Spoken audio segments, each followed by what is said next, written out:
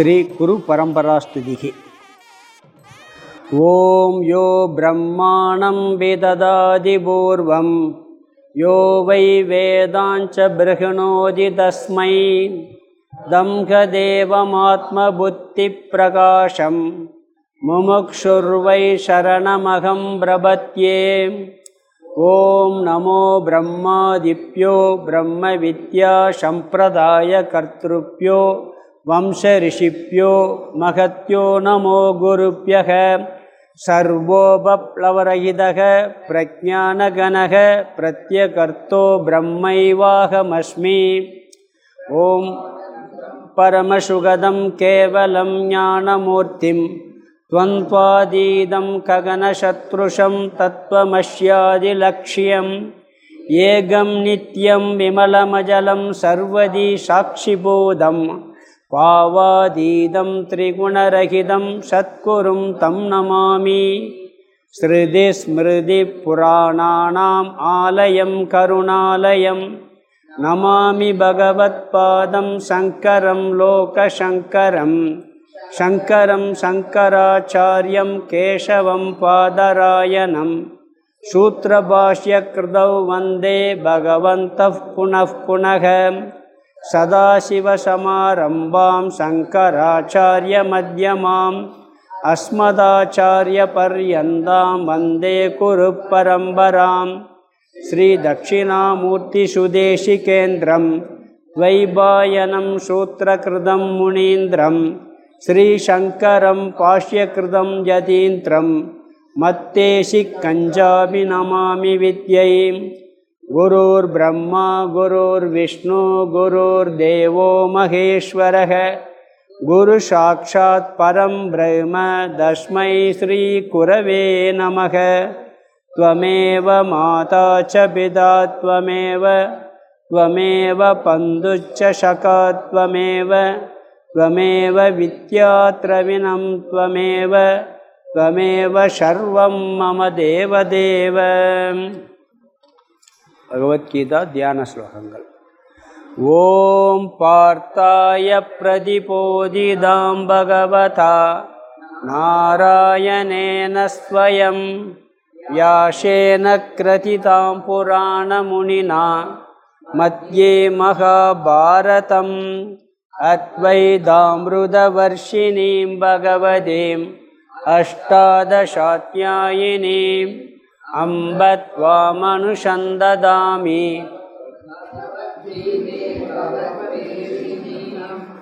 नमोऽस्तु देव्यासविशालबुद्धे पुल्लारविन्दाय भद्रनेत्र येन त्वया भारतदैलपूर्णः प्रज्वालितो ज्ञानमयप्रदीपः प्रपन्नपारिजाताय स्तोत्रवेत्रैकपाणये ज्ञानमुद्राय कृष्णाय गीतामृततुहे नमः सर्वोपनिषदो गावो प्रोक्ता गोपालनन्दनः पार्थो वत्ससुधीर्भोक्ता दुःखं गीतामृतं महत् वसुदेवसुदं देवम् कंसचाणूरमर्दनं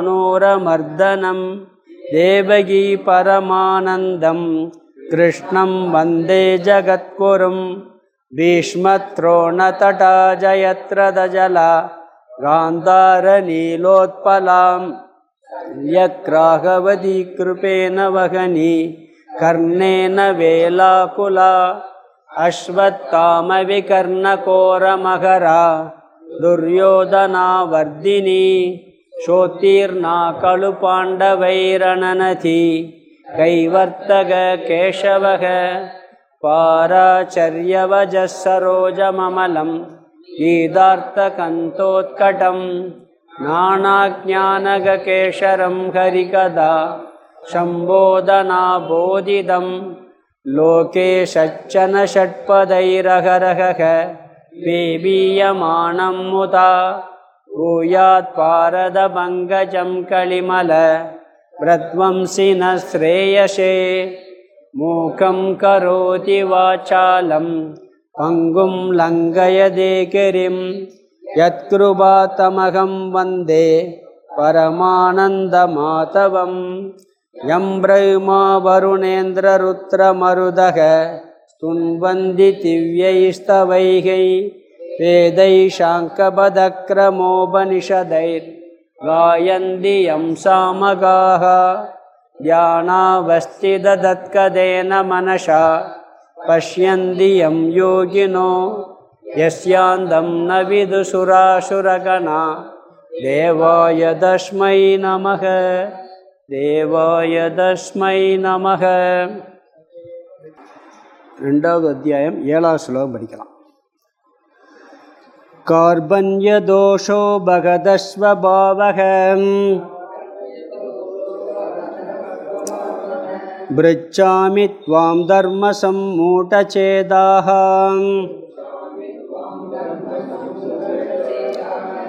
यत्रे यक्ष्यान्निक्षितं ब्रूहि तन्मे शिष्यस्तेऽहं शाधि मां त्वां प्रपन्नम्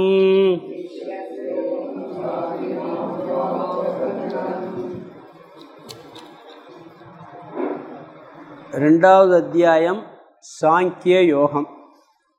ஆறு ஸ்லோகம் பார்த்து முடித்து ஏழாவது ஸ்லோகம் பார்க்க ஆரம்பித்தோம் போன கிளாஸில் இதில் நான்கு விஷயங்கள் அர்ஜுனன் சிஷ்யனாக மாறுதல் அவன் சரணாகதி அடைதல். பிறகு ஞான யோகம் கர்மயோகம் ஞான பலன். இந்த நாலு விஷயம் அந்த ரெண்டாவது அத்தியாயத்தில் வருதுன்னு பார்த்தோம். முதல் அத்தியாயத்தில் அவன் வந்து பற்று கவலை மயக்கம் மூணு வந்தது. அதனுடைய தொடர்ச்சியாக அவன் எப்படி இருக்கான்னு சொல்லி முதல் ஸ்லோகத்தில் சஞ்சயன் சொன்னார். அதாவது மீண்டும் அவன் சோகத்தில் கலங்கிய மனதோடு இருக்கிறான் அப்படிங்கிறத சொன்னார். அவன் முதல் அத்தியாயத்தில் மனதளவில் கலக்க இருந்தது தெரிஞ்சது.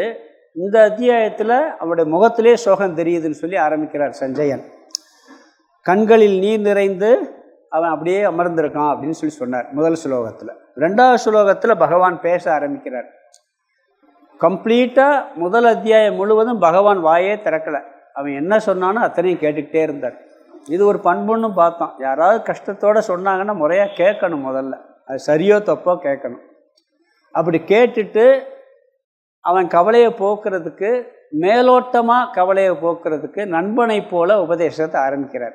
ஒரு நண்பனை போல் ஃப்ரெண்ட்ஸ் மாதிரி அட்வைஸ் பண்ண ஆரம்பிக்கிறார். உபதேசம் சொல்லக்கூடாது அட்வைஸ் ரெண்டு ஸ்லோகம் சொல்லுவார் அப்புறம் அவன் ஆரம்பிச்சிருவான் திருப்பி. எப்போ சிஷ்யனாக மாறுறானோ அப்போத்தே உபதேசத்தை அவர் ஆரம்பிப்பார். இவன் இது வரைக்கும் சிஷ்யனாக மாறலை. அந்த நாலு தகுதியில் ரெண்டு தகுதி வந்திருந்தது. தன்னுடைய உள்ள கஷ்டத்தை உணர்ந்தான் விடுபடன்னு நினச்சான். பிறகு தன்னுடைய புத்தி பயன்படாதுங்கிறது அவனுக்கு இன்னும் தெரியலை. இனிமேல் வரப்போகுது. பிறகு முறையாக யார் அதை நீக்க முடியுமோ அங்கே சரணாகதி அடையணும். அது ஒவ்வொரு ஸ்டெப்பாக வந்துக்கிட்டு இருக்கான் அவன். ரெண்டாவது ஸ்லோகத்தில் பகவான் பேச ஆரம்பிக்கிறார். ரெண்டு மூணில் நண்பனை போல பேசுகிறாரு இதில் நாம் சில கருத்துக்கள் பார்த்தோம். மேலோட்டமான துயரம் அடிப்படையான துயரத்தை நீக்கிறதுக்கு. அதாவது துயரத்துக்கு காரணம் மேலோட்டமான காரணம் அடிப்படையான காரணம். அடிப்படையான காரணத்தை பின்னாடி சொல்ல போகிறார் இங்கே மேலோட்டமான காரணத்தை வச்சு நீக்கிறதுக்கு முயற்சி பண்ணுறார் அவர். ரெண்டாவது ஸ்லோகத்தில் அதாவது நீ இந்த கட்டான சூழ்நிலையில் போர் புரிகிறேன்னு சொல்கிறது பொருந்தாது அப்படின்னார். இது பெரியோர்கள் செயல் அல்ல. சொர்க்கத்தை தடுப்பது பழியை தருவதுன்னு சொல்லி ரெண்டாவது ஸ்லோகத்தில் மேலோட்டமாக ஃப்ரெண்ட்லி அட்வைஸ் பண்ணார். இதுக்கெல்லாம் நிறைய விளக்கம் பார்த்தோம். பிறகு சுலோகம் மூணில் கொஞ்சம் திட்டுறாரு. நன் ஃப்ரெண்டாக திட்டுவோம்ல நீ அழியின் இயல்பை அடைவா அடையாதே. நீ எவ்வளோ பெரிய வீரன். இப்படி போய் சண்டை போட மாட்டேன்னு உட்காந்துருக்குறிய அப்படிங்கிறாரு. பிறகு அதுவும் எதிரியை வாட்டக்கூடிய நீ போய் இப்படி சண்டை மாட்டே போட மாட்டேன்னு உட்கார்ந்தா அது நல்லது இல்லைன்னு சொல்கிறார் பிறகு உடல் தளர்வை விட உள்ளத்தளர்வு ரொம்ப இழிவானது. நீ மனசை தளர விட்டு உட்காந்துருக்க அதனால் அதிலிருந்து எழுந்து நீ சண்டை பிடின்னு ஆரம்பிக்கிறார். சண்டை செய்யும் சொல்கிறார் பிறகு என்ன பண்ண ரெண்டு ஸ்லோகம் தான் சொல்கிறாரு திருப்பி ஆரம்பிச்சிடறான் அர்ஜுனன். அதில் என்ன சொல்கிறான் நீங்கள் என்னை போர் புரிய சொல்கிறீங்க நீங்கள் வந்து அறக்கர்களை கொன்றீங்க எதிரிகளை கொன்னீங்க. இப்போ போய் பீஷ்மரையும் துரோணரையும் இங்கே தான் பேரவே சொல்கிறான் அதுக்கு முன்னாடி என்ன பண்ணுறான் சும்மா மேலோட்டமாக சொல்ல உறவினர்களை எப்படி கொள்வது தர்மம்லாம் பேசுவான். இங்கே எழுத்தாப்பில் குருநாதர் இருக்கார் தாத்தா பாட்டனார் இருக்கார். அவங்கள போய் எப்படி சொல்கிறது பூஜிக்க தகுந்த பீஷ்மரையும் துரோணரையும் எப்படி நான் கொள்வேன் அப்படின்னு சொல்லி நாலாவது ஸ்லோகத்தில் சொன்னான். அஞ்சில் கொஞ்சம் ஸ்டெப்பு முன்னாடி வர்றான். இவனுக்கு வைராக்கியம் இருக்குங்கிறத காமிக்கிறான். இவங்களை கொன்று இந்த ராஜ்யத்தை அடையிறத விட பிச்சை எடுத்து சாப்பிட்றதுக்கு தயாருங்கிறான். அந்த பிச்சை எடுக்கிறதுங்கிறது நாம் பார்த்தோம். அது வந்து ரெண்டு எக்ஸ்ட்ரீம் இருக்குது ஒன்று இல்லாமல் பிச்சை எடுக்கிறது எல்லாம் இருந்து ஆணவத்தை அழிக்கிறதுக்காக பிச்சை எடுக்கிறது. அது நிறையா நான் போன கிளாஸ்ல விளக்கம் நிறையா பார்த்தோம் அதுக்கு. இதில் ஆணவம் அழியும் வைராக்கியம் வெளிப்படும் இந்த பிச்சை எடுக்கிறதுல.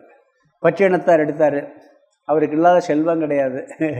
பத்திரகிரியார் ராஜா அவர் பிச்சை எடுத்து சாப்பிட்டாரு. ராமகிருஷ்ண மடத்து சன்னியாசிகள்லாம் விவேகானந்தர்லாம் ஆரம்ப காலத்தில் அந்த பதினாறு சிஷியர்களும் பிக்ஷை எடுத்தே சாப்பிட்டாங்க. அது பிக்ஷைக்கு போகும்போது காஞ்ச ரொட்டி சாப்பிட முடியாமல் கீழே போடுவோம் பாருங்கள் அதை போடுவாங்களாம். இன்றைக்கி ராமகிருஷ்ண மடம் வேர்ல்டு லெவலில் ஒரு ஃபைவ் ஸ்டார் ஹோட்டல் மாதிரி இருக்குது ஆனால் அந்த காலத்தில் அவ்வளோ கஷ்டப்பட்டிருக்காங்க. அதுக்கு தயாராக இருந்தாங்க. எல்லாரும் நல்லா பெரிய குடும்பத்தில் பிறந்தவங்க. இருந்தாலும் பிக்ஷையை எடுத்து சாப்பிட்டாங்க. அதில் தன்னுடைய ஆணவம் அகங்காரம் அழியும். வைராக்கியம் வரும். அதுக்காக அந்த பிக்ஷையை எடுத்து சாப்பிட்ற தயாராக இருக்கான் அப்படிங்கிறான். பிறகு இன்னொன்று சொல்லுவான் இவங்கெல்லாம் இப்படி ஜெயிச்சு நான் சாப்பிட்டேன்னா அந்த கொன்ன பாவம் இருக்கு. அந்த ரத்தம் தான் ஞாபகத்துக்கு வரும். அந்த ரத்தம் தோய்ந்த போகத்தத்தை நான் அனுபவிக்க முடியும். அதனால் வேணான்னு சொல்லுவான் பிறகு சுலோகம் ஆறில் தன்னுடைய அறியாமையை உணர்கின்றான். எனக்கு தெரியவில்லை என்ற வார்த்தையை இங்கே தான் சொல்லுவான்.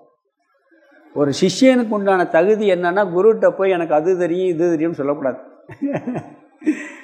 எனக்கு தெரியாது நீங்கள் சொல்லுங்கன்னு சொல்லணும். தெரிஞ்சிருந்தால் அதை தூக்கி வச்சிடணும். ஏன்னா நம்ம எதோ பார்த்துருப்போம். இவன் இங்கே என்ன சொல்கிறான்னா நமது வெற்றி அல்லது அவர்கள் வெற்றி அடைகிறது எது சிறந்ததுன்னு தெரியலன்னு சொல்கிறான் தாத்பரியம் என்னன்னு சொன்னால் நான் சண்டை போட்டால் நம்ம வெற்றி அடைஞ்சிடலாம் நான் கடமையை செஞ்சேன்னா. நான் கடமையை செய்யாமட்டு அவங்க ஜெயிச்சிருவாங்க. கடமையை இவனுக்கு என்ன இவனுடைய வீரத்தில் நம்பிக்கை இருக்குது அர்ஜுனனுக்கு. அப்போ என்னுடைய கேள்வி டைரெக்டாக என்னன்னு சொன்னால் இன்டைரக்டாக சொல்கிறான் டைரெக்டாக ஏதாவது இவன் சொல்கிற டைரெக்டாக சொல்கிறது அவர்கள் வெற்றி அடைஞ்ச நல்லதா நாம் ஜெயிச்சா நல்லதா? அது தெரியலேம்மா. இதன் உண்மையான அர்த்தம் என்னென்னா கடமையை செய்வது சிறந்ததா கடமையை செய்யாமல் இருப்பது சிறந்ததா? இதுதான் கொஸ்டினே ஏன்னா அப்பப்போ கடமையை விட்டு போகலாம்னு நினச்சிக்கிட்டே இருப்பான். இதில் கீதையிலே பார்த்தீங்கன்னா கடமையை விட்டுட்டு போகிறது நல்லதான்னு கேட்டுக்கிட்டே இருப்பான். அதில் இங்கேயே ஆரம்பிச்சிட்டான் அதை. அப்போ கடமை தான் முக்கியங்கிறத பகவான் கீதையில் நிறைய இடத்துல சொல்ல போகிறார் ஞானத்தை போதிச்சாலும் கடமை ரொம்ப முக்கியம். சுதர்மத்தை விடக்கூடாது அப்படிங்கிற வார்த்தையை அவர் சொல்வார் கடமை கண்ணியம் கட்டுப்பாடெல்லாம் சொல்கிறாங்கல்ல செய்கிறதில்ல எல்லாம் எழுதியெல்லாம் போட்டுருவாங்க. அது மாதிரி கடமையை செய்வது சிறந்ததா? கடமையை செய்யாமல் இருப்பது சிறந்ததாங்கிறான். பிறகு இன்னொன்று உயிர் மீதும் பற்றி இல்லைங்கிறான். என்ன சொன்னான்னா இவங்களை கொன்ன பிறகு எனக்கு உயிரோடு வாழ்கிறது கூட விருப்பம் இல்லை. அந்த பற்று உயிர் மீதும் பற்று இல்லைங்கிறதையும் காமிக்கிறான். சொல்லிட்டு ஏழு எட்டு இங்கே தான் இவனுடைய சிஷ்யனுடைய மனநலம் முழுசாக வருது. ஏழாவது சுலோகம் எட்டாவது சுலோகம் ரொம்ப ரொம்ப முக்கியம். ஒரு சிஷியனாகக்கூடிய மன எப் சிஷியனுக்கு என்ன தகுதி இருக்கோ அது கரெக்டாக முழுசாக இங்கே வருது. ஏழாவது சுலோகத்தில் தன்னுடைய அறியாமையெல்லாம் உணர்ந்து சரணாகதி அடைகிறான். எட்டாவது சுலோகத்தில் விவேக வைராக்கியம் வருது அவனுக்கு. எனக்கு அதெல்லாம் இருக்குன்னு காட்டுமான் அதுக்கு பிறகு ஒம்பது பத்தில் சஞ்சயன் சொல்லுவார் பதினொன்றில் உபதேசத்தை ஆரம்பிப்பார். ஏழாவது சுலோகத்தில் நம்ம ஆரம்பத்தில் பார்த்துருக்கோம் கொஞ்சம் பார்த்தோம். அதில் தனது குறையை உணர்கின்றான் முதல்ல. இந்த சோகத்திலிருந்து விடுபடுவதற்கு எனது புத்தி பயன்படாதுன்னு உணர்ந்து சொல்லுவான். பிறகு சோகத்தை நீக்குபவரிடம் சரணடைவான். இது முக்கியமாக ரெண்டு கருத்து. இதில் தன்னுடைய மனதின் குறையை உணர்வான் புத்தியின் குறையையும் உணர்வான். ஏழா சோகத்தில் மனசில் என்ன குறை இருக்குன்னு சொல்லுவான். புத்தியில் என்ன குறை இருக்கு? பிறகு எனக்கு நன்மையை தருவதை கூறுங்கள் இன்பத்தை தருவதை கூறுங்கள்னு கேட்க மாட்டான். அந்த நன்மை தருவதும் கூட நிரந்தரமானதாக இருக்கட்டும். அந்த உபதேசம் வந்து எனக்கு எப்பயும் பயன்படுவது மாதிரி இருக்கட்டும் சொல்லிட்டு பிறகு சரணாகதி அடைகின்றான். உங்களுடைய ஷீடன்னு சொல்லுவான் பிறகு அதெல்லாம் நம்ம பார்க்க பார்த்துருக்கோம். கொஞ்சம் ஆரம்பத்தில் கொஞ்சம் பார்த்தோம். சரணாகதியை பற்றி பார்க்கும் பொழுது முதல்ல நான் சம்சாரின்னு கண்டுபிடிக்கணும். சம்சாரின்னு நான் துக்கத்தில் இருக்கேன்னு கண்டுபிடிக்கணும். விடுதல் அதுலேருந்து வெளியே வரணும்னு நினைக்கணும். என்னுடைய புத்தி பயன்படாதுன்னு தெரிஞ்சாதான் குருட்ட போய் சரணடைய முடியும். இந்த மூன்று ஸ்டெப்பையும் இவன் இங்கே அடையிறான்.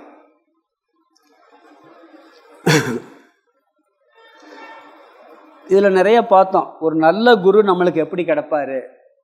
குரு நம்மளுக்கு வந்து நம்மளுடைய குணம் தெரியுது. நம்ம மனசெல்லாம் எப்படி இருக்குன்ட்டு. குருவுக்கு வந்து தெரியுமா தெரியாதா? அவர் நம்மளுக்கு ஞானத்தை உபதேசிக்க முடியுமா முடியாதா? அவருக்கு அந்த திறமை இருக்கா இல்லையாங்கிறதெல்லாம் பொதுவாக மேலோட்டமாக தெரியாது. நம்ம அங்கே போய் பார்த்தாத்தேன் தெரியும். இவனுக்கு பகவான் மேலே ஒரு நம்பிக்கை வந்திருக்கு. அந்த நம்பிக்கையினால் பண்ணுறான் அதற்கு புண்ணியம் பண்ணியிருக்கோன்னு சொல்லுவாங்க. புண்ணியம் பண்ணியிருந்தோம்னா நல்ல குருவை போய் நாம் அடைவோன்னு பார்த்தோம். ஒருவேளை நம்ம சரியில்லாத குருவிட்ட போனோம்னு சொன்னால் என்ன பண்ணுவோம்? அங்கேருந்து வந்துடுவோம் வந்துட்டு திருப்பி சரியான குருவிட்ட போயிடுவோம் அன்றைக்கெல்லாம் பார்த்தேன் சில நேரங்களில். அதாவது மாந்திரீகத்தில் விருப்பமாக இருப்பான். வேதாந்த குருவிட்ட வந்து சேர்ந்துருப்பான். பிறகு என்ன பண்ண நாளில்? அங்கேருந்து போயிடுவான். அங்கே போனால் இங்கே வந்துடுவான் இது அவனுடைய மனநிலையை பொறுத்து அமையும் அப்படின்னு சொல்லுவாங்க. எங்கே வந்து நம்மளுக்கு எதில் ஆர்வம் இருக்கோ அந்த குரு இயல்பாக அமைவார். அதுக்கு புண்ணிய கர்மாவும் தேவை. மூர்த்தி தலம் தீர்த்தம் முறையால் தொடங்கினாருக்கு ஒரு வார்த்தை சொல்ல வாய்க்கும் சத் சத்குருவும் வாய்க்கும் பராபரமேன்னு சொல்லி தாய்மானவர் சொன்னார். அதனால் முதல்ல நம்பிக்கை வேணும். பிறகு இந்த சரணடையுதுங்கிறது புண்ணிய கர்மத்தினால் வரும். பிறகு இது ஒரு பாவனைன்னு பார்த்தோம். இது ஒரு செயல் கிடையாது. ஒரு குறிப்பிட்ட டயத்தில் வர்றது கிடையாது. ஒரு இயல்பாக வரக்கூடிய ஒரு மனோ பாவனை இது. இது ஒரு பாவனை. இது செயல் கிடையாது. நம்ம காலில் விழுந்து அவன்கிட்ட சரணடை அதை வந்து வெளிப்படையாக காமிக்கிறோம். மனசார புத்தியை ஒப்படைக்கிறது. இதுதான் சரணாகதி. இதெல்லாம் நம்ம போன கிளாஸில் பார்த்துட்டோம். பிறகு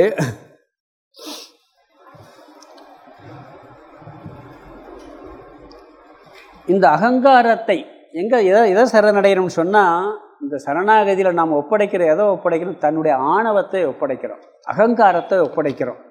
அப்படி ஒப்படைக்கிறத உண்மையான சரணாகதி அப்படிங்கிறதெல்லாம் பார்த்தோம். நம்ம போன கிளாஸில் அதெல்லாம் பார்த்துட்டோம். பிறகு பகவான் சொல்கிறாரு ஒரு நல்ல சிஷ்யன் உருவாகிட்டான்னு சொன்னால் நான் நல்ல குரு அனுப்பிச்சிருவேங்கிறார் ஒரு சிஷ்யனுக்கு உண்டான தகுதி ஒருவனுக்கு இருந்தால் அவனுக்கு நல்ல குரு அமைஞ்சிருவாராம். ஆட்டோமேட்டிக்காக அமைஞ்சிருவாராம். இது பகவானுடைய அனுகிரகத்தில் கிடைக்கும் பக்தியினாலேயும் கிடைக்கும். வேதாந்தத்தின் அடிப்படையில் சொன்னோம் சொன்னால் கர்மத்தின் பலனாக நல்ல குரு கிடைப்பார். பக்தியின் அடிப்படையில் பார்த்தா கடவுளுடைய அனுகிரகத்தில் கிடைக்கும். இது ரெண்டு நாளையும் நம்மளுக்கு நல்ல குரு கிடைக்கும். இவனுக்கு ரெண்டுமே இருக்குது அதனால் பகவானே குருவாக அமைந்து விட்டார். அதாவது லௌகிய வாழ்க்கையில் ஒரு வார்த்தை சொல்லுவோம். மனம் போல் மாங்கல்யம் சொல்லுவோம். சொல்லுவோமா இல்லையா? மனம் போல் மாங்கல்யம். சிஷியனுக்கு பொருந்துமா? ஏன்னு சொன்னால் நல்ல சிஷியனாக இருந்து எதை அறிஞ்சிக்கிறன்னு போகிறானோ அவனுக்கு அதுக்கு தகுந்த குரு கிடச்சிருவார். நான் சில பேர்லாம் பார்த்துருக்குறேங்க. நல்ல வேதாந்தத்தில் நாட்டம் இருக்கும் ஆனால் என்ன பண்ணுவார்? வேறு எங்கேயாவது போய் சேவை பண்ணுற குருட்டை போய் சேர்ந்துருப்பார். இல்லாட்டி மாந்திரிகம் பண்ணுற குருட்டை போய் சேர்ந்துருப்பார்.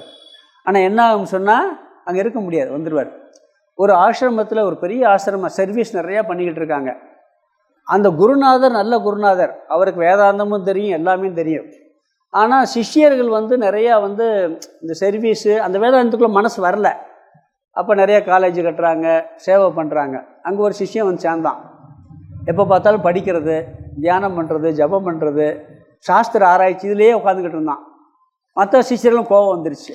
ஒரு வேலையும் செய்ய மாட்டேங்கிறான். சும்மா உட்காந்துக்கிட்டே இருக்கான்னு சொல்லி குருநாதர்கிட்ட போய் சொன்னாங்களாம்.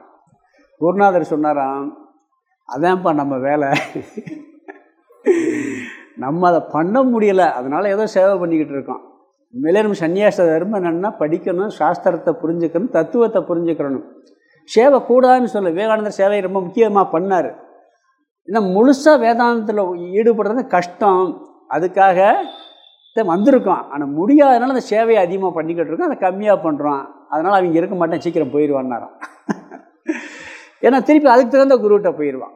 அப்படி நம்மளுடைய ஆர்வம் அதிகமாக இருக்கும் பொழுது அதற்கு தகுந்த குருவிட்ட நம்மளை போய் சேர்த்து விடும் அப்படிங்கிறார். பிறகு இதெல்லாம் நம்ம இந்த ஸ்லோகத்துக்கு முகவரியாக பார்த்தோம். இங்கே அர்ஜுனனுக்கு பகவான் மீது ஒரு நம்பிக்கை சிரத்தை வந்து விட்டது ஆனால் இந்த சிரத்தையை பற்றி பின்னாடி நம்ம நிறையா பார்க்க போகிறோம் அங்கே பார்த்துக்கிறலாம் இங்கே சிரத்தையோடு என்ன பண்ணுறான் சரணாகதி அடைகின்றான். இந்த ஸ்லோகத்தில் சரணாகதி சிஷ்யனாக மாறக்கூடிய கருத்து இங்கே வருது. அது எப்படி அடையிறாங்கிறத ஸ்லோகத்துக்கு ஒரு வார்த்தையாக பார்த்துட்டு பார்க்கலாம். இப்போ ஏழாவது ஸ்லோகத்துக்கு உள்ளே போகிறோம் இதுக்கு ஏழாவது ஸ்லோகத்துக்கு முன்னாடி இதெல்லாம் ஒரு இன்ட்ரொடக்ஷன் மாதிரி பார்த்தோம் இவ்வளோ சொன்ன விஷயங்கள்லாம்.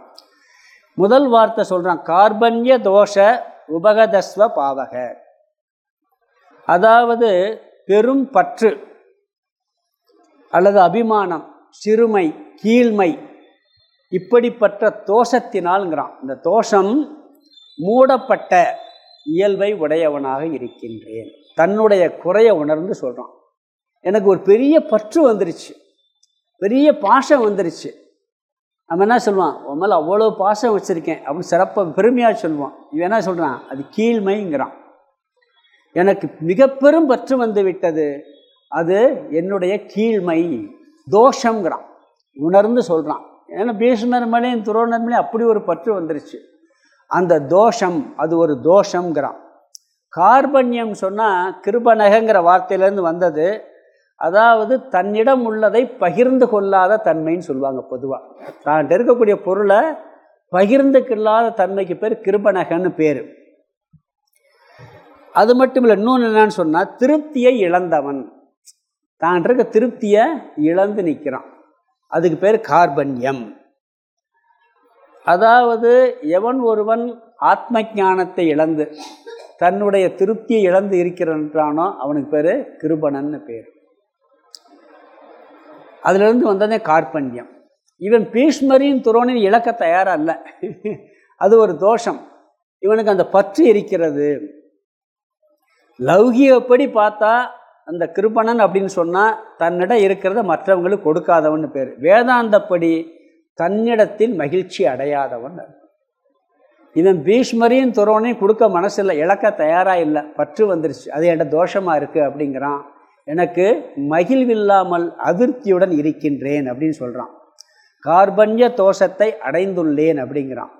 என்னால் பீஷ்மரையும் துரோணரையும் தியாகம் பண்ண முடியவில்லை அப்படிங்கிற வார்த்தையை சொல்கிறாங்க பெரும் பற்று வந்து விட்டது பெரும் அபிமானம் வந்து விட்டதுங்கிறான் அதனால் என்னாச்சான் என்னுடைய புத்தி உபகதக மூடப்பட்டு விட்டது. புத்தி வேலை செய்யலைன்னு சொல்கிறான் இதுதான் தன்னுடைய குறையை உணர்ந்து சொல்லக்கூடிய ஒரு பண்பு. யாராவது தாம் குறைய ஒன்றும் சொல்லவே மாட்டோம். தான்ற குறைய உணர் உணர்ந்தால் கூட சொல்ல மாட்டோம் நாம். தன்னுடைய குறையை உணர்ந்தால் உணர்றதே கஷ்டம். உணர்ந்தால் என்ன பண்ணுவான்? சொல்லவே மாட்டான். அந்த குறையை சொல்கிற பழக்கமே இல்லை. இவனுக்கு அகங்காரம் சத்திரியன் பொதுவாக ஆணவத்தில் அப்படியே கர்வமாக இருப்பான். இங்கே என்ன சொல்கிறான் சிறுமை என்ற கேட்டினால் மூடப்பட்டு விட்டது அப்படிங்கிறான். இது ஒரு பெரிய பண்பு. நிறைய பேருக்கு பார்த்தீங்கன்னா தான் இருக்க குறை இருக்கும் தெரியவே தெரியாது. தெரிஞ்சாலும் சொல்லவும் மாட்டேன். இப்போ பொறாமை எல்லாருக்கும் இருக்கா இல்லையா? இருக்கா இல்லையா? நம்ம தான் இருக்குன்னு கூட சொல்லுவோம். மற்றவன் இருக்குன்னு தான் தனக்கு இருக்குன்னு சொல்ல மாட்டான். அவன் பொறாமை பிடிச்சவன்னு சொல்லுவான். பொறாமை இல்லாதாலே கிடையாது. கம்மியாக இருக்கலாம். கொஞ்சம் கூட குறையாக இருக்கலாம். நல்ல வேதாந்த நிஷ்டையானாத்தையும் பொறாமல் ஹண்ட்ரட் பர்சன்ட் போகும். ஆனால் சொல்லுவோமா நம்ம? இப்போ எனக்கு பொறாமல் வந்துருச்சுன்னு சொல்லுவோமா? சொல்லவே மாட்டோம். இருக்கிறத தெரிகிறதே கஷ்டம். இருந்தாலும் சொல்கிறது ரொம்ப கஷ்டம். அது மாதிரி இவன் என்ன சொல்கிறான் தான் இருக்க குறை இருக்கிறத தெரிஞ்சுக்கிட்டான். தெரிஞ்சுக்கிட்டு பகவான்கிட்ட சொல்கிறான் இப்படி எனக்கு ஒரு தோஷம் இருக்கின்றது அப்படிங்கிறான். பிறகு சங்கரர் சொல்கிறார் ஒரு இடத்துல இந்த இறக்கம் வந்துச்சுன்னா இறக்க குணம் இருக்குவாருங்க. அது நல்லது தான் ஆனால் மயங்கிடக்கூடாதுங்கிறார் சில பேர் என்ன பண்ணுவாங்கன்னா இறக்க குணத்தை வச்சு நம்மளை ஏமாற்றிடுவாங்க நடக்குதுல நிறைய. பிச்சைக்காரங்கள்லாம் அப்படி தானே அது மட்டும் இல்லை நம்ம எல்லாம் நம்மளை விட்டு போகும் பொழுது இறக்கப்பட்டு வருவாங்க. எல்லாம் போச்சுன்னா இறக்கப்பட்டு வருவாங்க. பயங்கரக்கூடாது பட்டினத்தார் போய் உட்காந்தார் ராஜா வந்தார். ஏன்னா பட்டினத்தாருக்கே விட பணம் சில கொடுப்பாரான் கேட்குறார் ராஜா ஏன்ப்பா அப்படி வந்துட்ட? உனக்கு இன்னும் நிறைய நான் தர்றேன். உனக்கு ஏதாவது பணங்கணம் குறையா இருந்தால் தர்றேன். எல்லாத்தையும் விட்டு வந்து வரப்போ இன்னும் தர்றேன்னு சொன்னால் எப்படி இருக்கும்? புத்தர்கிட்ட பக்கத்து ராஜா போய் சொன்னாராம் உனக்கு ராஜ்ய காலில் ஏ ராஜ்யத்தை கூட கொடுக்குறேன். எதுக்கு இப்படி சாமியாரை போயிட்டுன்னு கேட்டாராம். புத்தர்கிட்ட அவர் எல்லாம் வேணான்னு வந்தவர்கிட்ட போய் எப்படி சொன்னால் எப்படி இருக்கும்? அதில் எல்லாம் மயங்காமல் இருக்கிறது அவங்களுடைய அந்த ஒரு இது. பொதுவாக இறக்க குணங்கிறது சில நேரம் நம்மளை என்ன பண்ணும்? கீழே வீழ்த்திடும் அது தர்மமான்னு பார்க்கணும். சில நேரங்களில் தர்மம் இல்லாமல் என்ன பண்ணுவோம் யாராவது ஒருத்தர் நம்மளை இறக்கப்பட்டு ஏமாத்திட்டு போயிடுவான் தீவிரவாதி கூட இறக்க குணம் இருக்குது நீ நல்லா பேசிட்டுன்னு இறக்கி இது நல்ல இறக்க குணம். தீவிரவாதி இருக்கான். அவனை பேசி அவனை இறக்காம மாற்றிட்டோம்னு வச்சுக்கோங்க. நல்லது தானே அது? ஆ? அதே இது வேற ஆளை மாற்றினா ஒரு சினிமா படத்தில் ஒரு ஜோக் பார்த்துருக்கேன். வடிவேல் ஜோக் தான். சொல்லணும். போலீஸாக இருப்பான். ஒரு கைதியை கூப்பிட்டு போவான். அவன் எங்கள் அம்மாவுக்கு உடம்புக்கு முடியலன்னு அழுவான். பார்த்துருக்கீங்களா அந்த ஜோக்கு? அந்த இறக்க உன என்னாச்சு? கையை தப்பிக்க விட்டு. அன்னையார் வந்து ஒரு காட்டு வழி நடந்து போயிட்டு இருப்பாங்க சாரதா தேவியார். இருட்டிடும் அப்போ எல்லாரும் விட்டு போயிடுவாங்க உடம்பு நடக்க முடியாது. ஒரு திருடனுடைய கூட்டம் வந்துக்கிட்டு இருக்கும். ஒரு திருடன் வந்துக்கிட்டு இருப்பான். அவன் எல்லாத்தையும் கொள்ளையடிக்கிறவன். இது அம்மா என்ன பண்ணா? அப்பா என்னை கொண்டு போய் உங்கள் மருமகிட்ட விட்டுருங்கன்னு சொல்லும். அவனுக்கு உடனே இறக்கம் வந்துடும் இந்த பேசுகிற வார்த்தையை பார்த்த அந்த இறக்கம் நல்ல இறக்கம். அவனே மாறிடுவான். அது பிறகு ராமகிருஷ்ணனுடைய பக்தனாக மாறிடுவான் அவன். சில இடங்களில் ரெண்டு டைரக்ஷனில் போகும். இங்கே இந்த இடத்துல வர்ற இறக்கம் தவறான இறக்கம். இது கீழ்மைன்னு இவனே சொல்கிறான் இந்த பற்று கடமையை செய்கிற நேரத்தில் போய் இவங்க மேலே எனக்கு பெரிய பாஷம் வந்துருச்சு. அந்த தோஷத்தில் நான் மூழ்கடிக்கப்பட்டு விட்டேன் அப்படிங்கிறான். பலகீனத்தை அடைந்து விட்டேன் அப்படின்னு சொல்கிறான் குழந்தைய படிக்கணும் வீட்டில் நம்மளே பாருங்க. படிக்க கஷ்டப்படுதுன்னு சொல்லிட்டு வேணா நீ படு தூங்கணும் எப்படி இருக்கும்? அப்போ ரெண்டு அடி போட்டு தான் நான் படிக்க வைக்கணும். நம்ம அப்படி பண்ணுறோமா இல்லையே. காலேஜில் ஒரு மேத்ஸ் ப்ரொஃபஸர் இருந்தார். பையன் மேலே ரொம்ப பாசம். அவன் கணக்கு போட முடியலேம்பானான். இனி படுற நான் போட்டு வச்சுன்னு போட்டு வச்சுருவான் நான் எப்படி படிப்பான்? ஒரு மேத்ஸ் ப்ரொஃபஸரை நான் பார்த்துருக்கேன் அது. நடந்தது. பையனை கெடுத்ததே அவர் தான் பையன் மேலே பாசம் ரொம்ப அதிகமாக இவரே கணக்கு போட்டு வச்சுட்டு நீ படுப்பான்னு சொல்லி தூங்கினா என்னைக்கு அவருக்கு தெரியும் மேத்ஸ் ப்ரொஃபஸர் அவர் அவரே அப்படி பண்ணாருன்னா திறக்க என்ன அழிச்சிடும் அவனை. இது மாதிரி இவன் என்ன சொல்கிறான் எனக்கு இறக்க குணம் வந்து இந்த இடத்துல வரக்கூடாது. அது வந்து எனக்கு கீழ்மையில் நான் இருந்திருக்கின்றேன். நீதிபதியில் இறக்கப்பட்ட என்ன ஆகும் நீதிபதி தூக்கு தண்டனை கூட கூட இறக்கப்பட்ட என்ன ஆகும் நடக்குமா? இவன் நீதிபதி ஸ்டேஜில் இருக்கான். ஏன்னா இவன் வந்து சத்திரியன். அதர்மத்தை அழிக்க வேண்டிய இடத்துல இருக்கு அதை உணர்ந்து சொல்கிறான் இந்த இடத்துல எனக்கு வரக்கூடாது. ஆனால் வந்துருச்சு.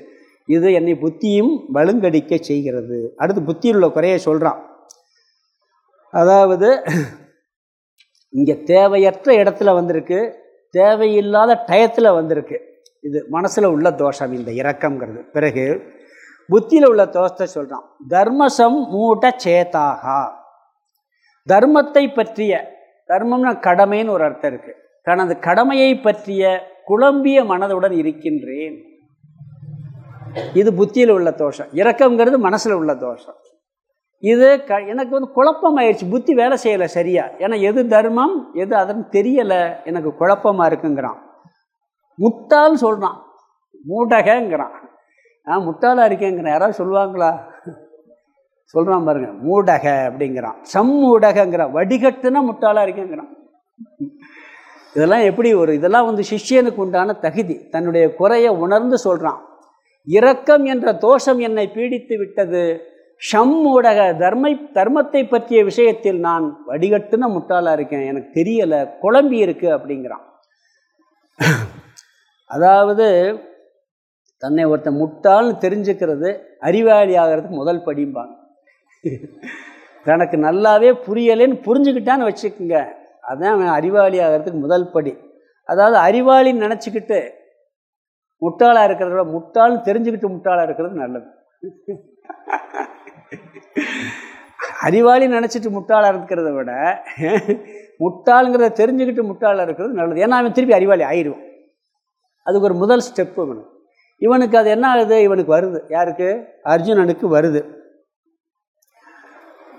எந்த விஷயத்தில் முட்டாளாக இருக்கேன்னா தர்ம விஷயத்தில். முதல் அத்தியாயத்தில் தர்மத்தை பற்றி உபதேசம் பண்ணான் யாருக்கு?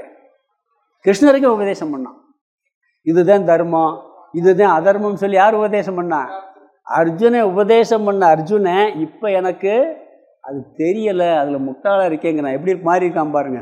இதுதான் சிஷ்யனுக்கு உண்டான தகுதி. அர்ஜு பகவானுக்கே உபதேசம் பண்ணவன் அந்த விஷயத்தில் உபதேசம் பண்ணான் இங்கே அதை பற்றி எனக்கு தெரியவில்லை. தர்ம விஷயத்தில் மூட அதுக்கு ரெண்டு அர்த்தம் பார்க்கலாம். ஒன்று வந்து எதை செய்யணும் எதை செய்யக்கூடாது. எது தர்மம் எது அதர்மங்கிறது தெரியலன்னு சொல்லலாம். பிறகு இன்னொரு விஷயம் என்னன்னு சொன்னால் இதுக்கு விளக்காசி தர்மம் சொன்னால் எல்லாத்தையும் தாங்குவதுன்னு அர்த்தம். அதுக்கு ஒரு அர்த்தம் இருக்குது தர்மகன்னா எல்லாவற்றையும் தாங்குவது. எல்லாவற்றையும் தாங்குவது எது? பிரம்ம தத்துவம் பரம்பொருள் தத்துவம் ஆத்ம தத்துவம். இவனுக்கு அதெல்லாம் தெரியாது. இப்படி கூட எடுத்துக்கலாம்னு சொல்கிறாங்க சில பேர். அதை பற்றி அறியாமல் இருக்கிறேன். தத்துவத்தை புரியாமல் இருக்கிறேன் அப்படிங்கிறத சொல்லலாம். தர்மம். தர்மத்தை பற்றிய விஷயம் தெரியலைன்னு சொன்னால் பரம்பொருள் தத்துவத்தை பற்றிய விஷயத்தையும் அறியாத மூடனாக இருக்கின்றேன். அது இவனுக்கு இப்போ தெரியறதில்ல. ரெண்டாவது சொன்ன முதல் சொன்ன கருத்து தான் கரெக்டு எது தர்மம் எது அதர்மம்? எதை செய்வது எதை செய்யக்கூடாது என்ப விஷயத்தில் குழப்பமாக இருக்கின்றேன். இப்படிப்பட்ட இரக்கத்துடனும் மூடத்தரத்திலும் உள்ள நான் உங்களை சரணடைகின்றேன். கேட்கின்றேன். பிரிச்சாமி துவாம். பிரிச்சாமின்னா கேட்கின்றேன். துவாம்னா உன்னை உங்களை கேட்கின்றேன். என்ன கேட்கிறான்னா அடுத்த வார்த்தை முக்கியமான வார்த்தை. யத்ரேய சியான் நிச்சிதம் புரூஹி தன்மே. எத்து ஸ்ரேயக சியாத் நிச்சிதம் புரூஹி தன்மே. இது ஒரு முக்கியமான வார்த்தை. எது எனக்கு நன்மையை தருமோ அதை கூறுங்கள். அதை உறுதியாக கூறுங்கள். நிச்சயமாக கூறுங்கள். நாம் கடவுள்கிட்ட என்ன கேட்போம்? எனக்கு எது நல்லதோ அதை கொடுன்னு கேட்குறோமா? இந்த ஸ்லோகமே ஏழா ஸ்லோகம் கார்பண்ய தோஷோ பகதஸ்வ பாவகங்கிறது கடவுள்கிட்ட போய் பிரார்த்தனை பண்ணுற ஸ்லோகம் மனப்பாடம் பண்ணி சொல்லலாம் அப்படியே. ஒவ்வொரு வார்த்தையுமே அருமையான வார்த்தைகள். எனக்கு ஒன்றும் தெரியாது. இதை பார்த்துக்கிறணும். எனக்கு அது வேணும் இது வேணும்னு கேட்குறோம். குழந்த காய்ச்சலாக இருக்கும்போது ஐஸ்கிரீம் கேட்குது. நல்லதா அது? அதுக்கு சுகத்தை கொடுக்கும். இன்பத்தை கொடுக்கான நல்லதை கொடுக்குமா? கொடுக்காது. இவன் என்ன சொல்கிறான் எனக்கு சிரேயக நன்மையை தருவதை சொல்லுங்கள்ங்கிறான். இன்பத்தை கொடுப்பதை சொல்லுங்கள்னு சொல்லலை. அதாவது இது உத்தமமான லட்சணம்னு சொல்லுவாங்க. நல்லதுக்கு எதிர்ப்பது எது? கெட்டது. நல்லதுக்கு எதிர்ப்பது எது? கெட்டது. இங்கே என்ன தெரியுமா? நல்லதுக்கு எதிர்ப்பதை இன்பம். எப்படி இது? கடோபனிஷத்தில் வரும். அவர் சொல்வார் உனக்கு இன்பம் தர்ற பொருளெல்லாம் தர்றேன்பார் எனக்கு நல்லது எதோ அதை கொடுங்கம்மா. ஸ்ரேயஸ் பிரேயஸ்ன்னு சொல்லி பிரேயஸ்னா இன்பத்தை கொடுப்பது. சிரேயஸ்னா நலத்தை கொடுப்பது. இன்பம் தர்றது எல்லாமே நல்லதாக இருக்கணுங்கிறது கட்டாயம் கிடையாது. சிலது இருக்கும். இன்பம் தரக்கூடிய எல்லாமே நல்லதாக இருக்கணும் அவசியம் இல்லை. ஆனால் சில இன்பங்கள் வேணால் நல்லதாக இருக்கலாம். பெரும்பாலான இன்பங்கள் என்ன ஆகுது? கெட்டதாகவே வருது. எது நலம் தருமோ அதுதான் நம்மளுக்கு எப்பயுமே இருக்கும். அதனால் என்ன கேட்குறான்னு சொன்னால் குழந்தைக்கு வந்து டிவி பார்க்குறது சீரியல் பார்க்குறது கார்ட்டூன் பார்க்குறது சந்தோஷம்தான். இன்பம் தர்றதுதான். நலம் தருமா? நலம் தராது. நம்மளுக்கே ஸ்வீட் சாப்பிட்றது இன்பம் தான் அதுக்காக ஒரு இருபது ஸ்வீட் சாப்பிட்டா நல்லாத்தே இருக்கும். ஆனால் நலம் தருமா?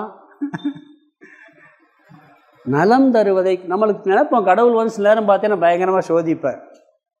கஷ்டமாக இருக்கும். ஏண்டா அப்படின்னு அது ஏதோ ஒரு காரணத்தில் பார்த்து நல்லதை கொடுத்துருப்பார். நடக்கும் அது அதனால் எது நல்லது கெட்டதுங்கிறது குழந்தைக்கு தெரியுமா? குழந்தைக்கு இன்பம் எது வேணுமோ அதைத்தான் கேட்கும். நாமளும் என்ன பண்ணுறோம் எனக்கு அதை கொடு இதை கொடு அப்படி கொடுங்க இப்படி கொடுங்கன்னு கேட்டுக்கிட்டே இருக்கேன் பகவான்கிட்ட. அது இன்பம் தருமா? இன்பத்தை கொடுத்து துன்பம் தருமான்னு தெரியாது. ஆனால் கடவுள்கிட்ட எனக்கு எது நல்லதுன்னு தெரியாது. நீ நல்லதை பார்த்து கொடுத்துரு. அப்படின்னு சொல்லிட்ட வேலை முடிஞ்சா இல்லையா? அந்த வார்த்தையை கேட்குறான். எனக்கு நலம் தருவதை சொல்லுங்கள்.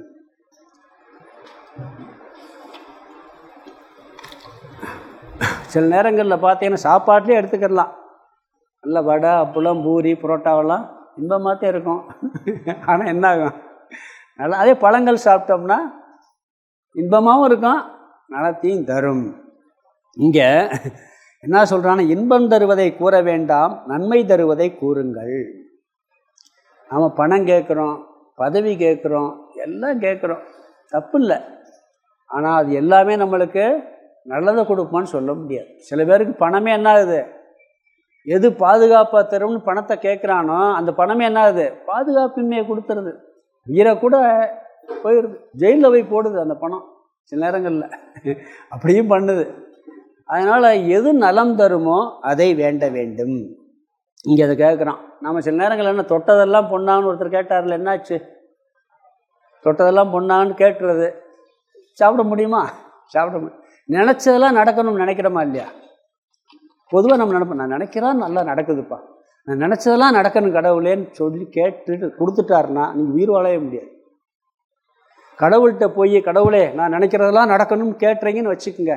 கடவுள் கொடுத்துட்டாருன்னு வச்சுக்கோங்களேன் உங்களால் உயிர் வாழவே முடியாது. ஓப்பனாக சொல்கிறேன் ஏன்னா நல்லதை மட்டும் நம்ம நினைக்க மாட்டோம். காரில் போய்கிட்டு இருப்பான் லாரிக்காரன் வந்து இடிச்சிட்டு என்ன நினைப்பான் என்ன ஆகும்? யோசிச்சு பாருங்க. நினச்சதெல்லாம் நடக்கும்னு கேட்கவே கூடாது. நல்லது நடக்கும்னு கேட்கணும். எனக்கு தெரியாது நம்மளுக்கு. இங்கே அழகாக சொல்கிறான் ஸ்ரேயஸ் எனக்கு நலம் தருவதை கூறுங்கள் அப்படிங்கிறான். நிச்சயமாக அது மட்டும் இல்லை நல்லதுங்கிறத முடிவு பண்ணுறதே சாஸ்திரமும் பகவானும் தான். நம்மளுக்கெல்லாம் இந்த ஒரு ஜென்மம் தான் தெரியும். கடவுளுக்கு எல்லாம் தெரியும். அதை முடிவு பண்ணுற சக்தி நம்மகிட்ட கிடையவே கிடையாது. பகவான் ஒருத்தன் இருக்குன்னு சொல்லி இங்கே அழகாக கேட்குறான் அதனால் இந்த ஸ்லோகத்தை ரொம்ப முக்கியமாக சொல்லுவாங்க இந்த ஸ்லோகத்தை. ஒவ்வொரு வார்த்தையும் முக்கியமாக இருக்கும். தன்னுடைய குறையை உணர்றான். பிறகு இந்த மாதிரி சிரேயஸ் நலம் தரு சிஷியன் ஆகிறான் எனக்கு நலம் தருவதை கூடுங்கள் அப்படின்னு சொல்கிறான் அந்த நலம் தருவது எப்படி இருக்குன்னு சொல்கிறான்னு சொன்னால் அந்த சொல்கிற விஷயம் எனக்கு பெர்மனண்ட்டான சொல்யூஷனாக இருக்கணும். நலந்தர் சும்மா இப்போ வர்ற மாதிரி இருக்கணும் டாக்டர்கிட்ட போகிறோம் வைத்தியம் பண்ணுறோம் டாக்டர் மருந்து கொடுக்குறாரு. இந்த சாப்பிட்டேன்னா நோய் தீர்ந்துக்கும்? டாக்டர் நோய் தீர்ந்துன்னு சொல்கிறீங்க திருப்பி வராமல் இருக்குமான்னு கேட்டால் என்ன சொல்லுவார் டாக்டர் சொல்ல முடியுமா? சொல்லவே முடியாது. திருப்பி எப்போ வேணாலும் வரலாம். பெர்மனன்ட் சொல்யூஷன் கிடையாது. அப்போதைக்கு தான் டெம்பரவரி இவன் என்ன கேட்குறான் நீங்கள் கொடுக்குற உபதேசம் எனக்கு பெர்மனன்ட் சொல்யூஷனாக இருக்கணும். எப்பொழுதும் நடந்தரக்கூடிய ஒரு சொல்யூஷனாக இருக்க வேண்டும். நிரந்தரமானதாக இருக்க வேண்டும். எப்படி வார்த்தைகள் படுறான் பாருங்க. இப்போ அது மட்டும் இல்லை ஒரு காய்ச்சல் வருது கொடுக்குறாங்க. அந்த நேரம் அந்த மாத்திரை சாப்பிட்லாம். அதுக்கு நல்லதா கெட்டதா? அப்போ நல்லது. காய்ச்சல் விட்ட பிறகு சாப்பிட்டா கெட்டது. நீங்கள் சொல்கிறது அப்படி இருக்கக்கூடாது. எனக்கு எப்பொழுதுமே நலம் தரக்கூடிய விஷயமாக இருக்க வேண்டும். அதை கூறுங்கள் அப்படின்னு சொல்லி கேட்குறான் மற்றதெல்லாம் தற்காலிகமாக இருக்கும். இவன் என்ன சொல்கிறான்னு சொன்னால் நிரந்தரமான உபாயத்தை கூறுங்கள். வேறு என்ன கொடுத்தாலும் தற்காலிகம் டெம்பரவரி தான். அதெல்லாம் எனக்கு தேவையில்லை. அதை அடுத்த சுலோகத்தில் சொல்ல போகிறான் இந்த உலகமே எனக்கு டெம்பரவரி எதுவுமே தேவையில்லைங்கிற வார்த்தையை அடுத்த சுலோகத்தில் சொல்ல போகிறேன் அங்கே பார்ப்பேன் நாம்.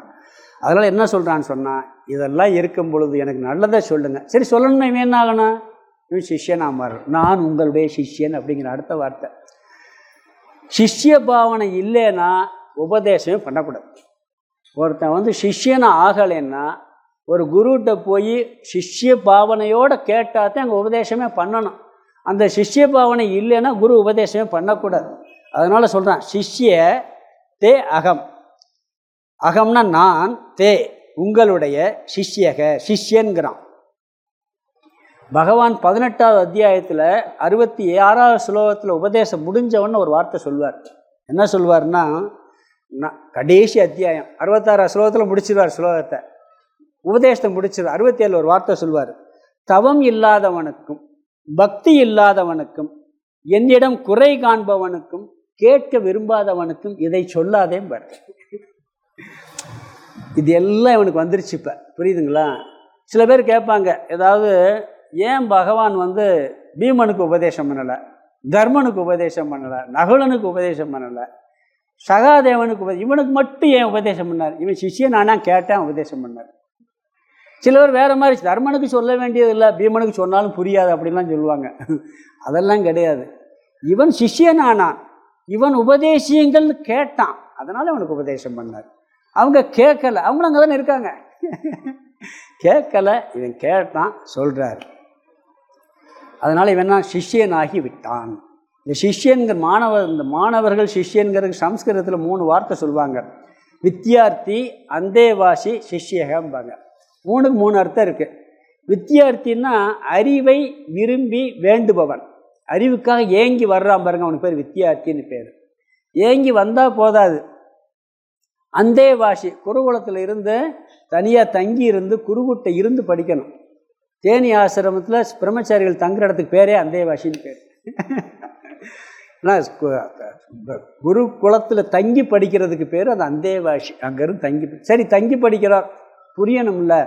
சிஷ்யகன்னா சிஷ்யங்கிற வார்த்தைக்கு என்ன அர்த்தம்னா அவர் சொல்கிறத கிரகிக்கிற சக்தி உள்ளவன் அர்த்தமாக இவனுக்கு என்ன சொல்ல நான் சிஷ்யன்ட்டான். நீங்கள் என்ன சொன்னாலும் நான் கிரகிச்சுக்கிருவேன் நான் புரிஞ்சுக்கிருவேன் அப்படிங்கிற வார்த்தையை இவன் நான் உங்களுடைய சிஷ்யன்.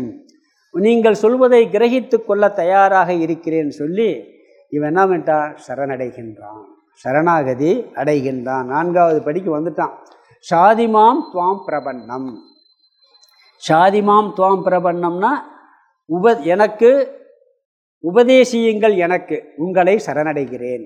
உங்களை சரணி சரணடைந்துள்ள என்னை காப்பாற்றுங்கள் அல்லது சரண் சரணடைந்துள்ள எனக்கு உபதேசம் செய்யுங்கள்னு சொல்லி இவன் சரணாகதி அடைகின்றான். யார் சரணாகதி அடைய முடியும்னா அந்த நான்கு படி முதல்ல சொன்னோம் அது இருக்கணும். சொன்னோம்ல நாலு படி சொன்னோமா இல்லை? சம்சாரத்தை உணர் இதெல்லாம் சொன்னோமா இல்லைங்களா? அதெல்லாம் அந்த நாலு படியே கடந்து வந்துட்டான். எதை சரணடையுதுன்னு சொன்னால் அகங்காரத்தை சரணடையணும் புத்தியை சரணடையணும். யாரிடம்? தகுதியுள்ள ஒரு குருவிடம் சரணடைய வேண்டும். அதை இவன் அழகாக பண்ணிட்டான். அடுத்தது இவனுடைய மனநிலையை அடுத்த சுலோகத்தில் மேலும் ரொம்ப விரிவாக விளக்க போகிறான் அங்கே இவனுடைய தகுதி இன்னும் எனக்கு எல்லா தகுதியும் இருக்குங்கிறத காமிப்பான். அதுக்கு பிறகுதான் பகவான் என்ன பண்ணுவார்? இன்னும் வெயிட் பண்ணுறாரு இது வந்துருச்சு தகுதி. இருந்தாலும் இன்னும் அவன் என்ன சொல்கிறான்னு பார்க்குறாரு அதில் முழுமையான தகுதியை அடுத்த சுலோகத்தில் சொல்ல போகிறான் சொன்ன உடனே என்ன பண்ணுவார்? சஞ்சயன் வந்து இப்படிலாம் இருக்குது அவர் சொல்ல போகிறான்னு சொல்லுவார். சொன்ன உடனே உபதேசத்தை ஆரம்பிப்பார். சுலோகத்துக்கு அர்த்தம் பார்த்துடலாம். கார்பன்ய தோஷோ பகதஸ்வ பாவக. கார்பன்ய தோஷ உபகதஸ்வ பாவக. கார்பண்யம் என்ற தோஷத்தினால் அதாவது பெரும் பற்று அபிமானம் என்ன? என்ற கேட்டினால் தோஷகன்ன கேட்டினால் குறைபாட்டினால் மாறிய இயல்பை உடையவனாக. உபகத ஸ்வாபக. அப்படின்னா ஸ்வபாவகன்னா என்னுடைய அறிவு மாற்றத்தை அடைந்திருக்கிறது. மாற்றத்தை அடைந்த இயல்பை உடையவனாக இருக்கின்றேன். கார்பன்யங்கிற தோஷம் மிகுந்த பற்று அப்படிங்கிற தோஷம். அடுத்த வார்த்தை பிரிச்சாமி துவாம் தர்மசம் மூட்டச்சேத்தாக இந்த கார்பன்ய தோஷங்கிறது இரக்கம் என்ற தோஷம் பற்று என்ற தோஷம் இது மனதில் உள்ள தோஷம். அடுத்தது பிரிச்சாமி துவாம் தர்மசம் மூட்ட சேதாகா தர்ம சம்மூட சேதாகா. அதாவது என்னுடைய கடமையை பற்றிய குழம்பிய புத்தியுடன் மனதுடன். தர்மம்னா இங்கே கடமைன்னு அர்த்தம். கடமையை பற்றிய குழம்பிய மனதுடன் துவாம் உன்னை பிரிச்சாமி கேட்கின்றேன். கார்பன்யங்கிற தோஷம் வந்திருக்கு. புத்தியில் எனக்கு வந்து மூடத்தனம் இருக்குது இந்த மனசோட உங்கள்கிட்ட நான் கேட்குறேன் அப்படிங்கிறான். ரெண்டாவது வரி. யத் ஸ்ரேயக சியான் நிக்ஷிதம் புரோகி தன்மே.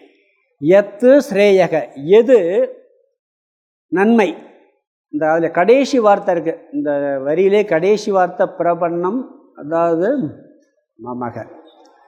மே எனக்கு. அதிலே பார்த்தீங்கன்னா அந்த எச்ரேய சான்னிக்ஷிதம் பிரீகி தன் மேன் இருக்கு. மேன்னா எனக்கு. எது எத்தனை எது சிரேயக மிகுந்த நன்மையை மிகுந்த நன்மையை நன்மையாக சியாத் இருக்குமோ? சியாத் நிக்ஷிதம். இருக்குமோ? நிக்ஷிதம் புரூகி தன்மே. அதில் தன்மேங்கிறது பார்த்துட்டா தன்மையை பிரித்தோம்னா தத்துமே.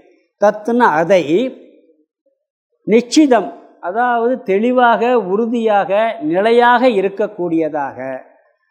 புரூகி கூறுவாயாக. நன்மையை கூறுங்கள். அது நிலையானதாக இருக்கணும் உறுதியானதாக இருக்கணும் நிச்சயமானதாக இருக்கணும். அதை எனக்கு கூறுங்கள். முதல்ல இரக்கங்கிற தோஷம் பிறகு புத்தியில் மூடத்தனங்கிற தோஷம். ரெண்டாவது எனக்கு எது நன்மையை தருமோ அதை சொல்லுங்கள் அது எப்படி இருக்கணும்? நிச்சயமானதாக இருக்கணும் நிரந்தரமானதாக இருக்கணும். அடுத்த வார்த்தை. சிஷ்யஸ் தே அகம். அகம் நான் தே உங்களை உன்னு சிஷ்ய உங்களுடைய உன்னுடைய. சிஷ்யக சிஷ்யன். இப்போ என்ன சொல்ல பற்றி சொல்லு நான் வந்து இப்போ உங்களுக்கு ஃப்ரெண்டு கிடையாது மைத்துனர் கிடையாது. நான் இப்போ உங்களுக்கு சிஷ்யன் ஆகிட்டேங்கிறான் நான் உங்களுடைய சிஷ்யன். கற்பதற்கு தகுதி உடையவனாக ஆகிவிட்டேன். சாதிமாம் துவாம் பிரபண்ணம் துவாம்னா உன்னை உங்களை. சாதிமாம் சாதிமாம்னா உபதேசித்து அது மாம்னா எனக்கு. சாதினா உபதேசத்தருள்வாயாக பிரபன்னம் சரணடைந்துள்ள எனக்கு. பிரபன்னம் சாதி மாம் அப்படின்னா பிரபன்னம்னா சரணடைந்துள்ள மாம்னா என்னை அல்லது சரணடைந்துள்ள எனக்கு. மாம்னா என்னைன்னு சொல்லலாம் எனக்குன்னு சொல்லலாம் எனக்கு சாதி உபதேசித்து அருள்வாயாக. இங்கே என்ன சொல்கிறான்னு சொன்னால் அதாவது பெரும் பற்று என்னும் கேட்டினால் மாறிய இயல்பை உடையவனாக. கடமையை பற்றி குழம்பிய மனதுடன் உன்னை கேட்கின்றேன். எது எனக்கு மிகுந்த நன்மையாக இருக்குமோ அதை உறுதியாக தெள்ள தெளிவாக நிலையானதாக கூறுவாயாக. நான் உன்னுடைய சிஷ்யன். உன்னை சரணடைந்துள்ள எனக்கு உபதேசித்து அருள்வாயாக. அடுத்த ஸ்லோகம் படிக்கலாம். எட்டு. இதுவும் முக்கியமான ஸ்லோகம். நகி பிரபஸ்யாமி மமாபணுத்யாத்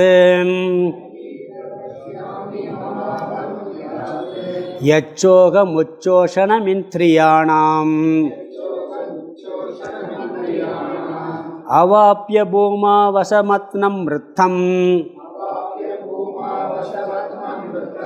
ராஜ்யம் சுராணாமபீச்சாதிபத்தியம் நகி பிரபஷ்யாமி மமாபணுத்யாத்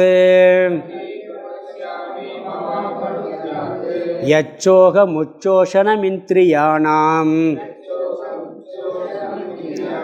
ஆவாப்பிய பூமா வசபத்னம் மிருத்தம் ராஜ்யம் சுராணாமபீச்சாதிபத்தியம்